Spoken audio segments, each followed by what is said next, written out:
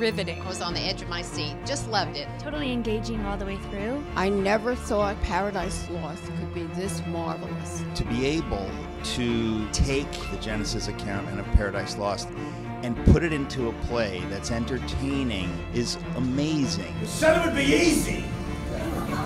This is not my idea of easy. The sets, the costume, you want to take a bite of that apple.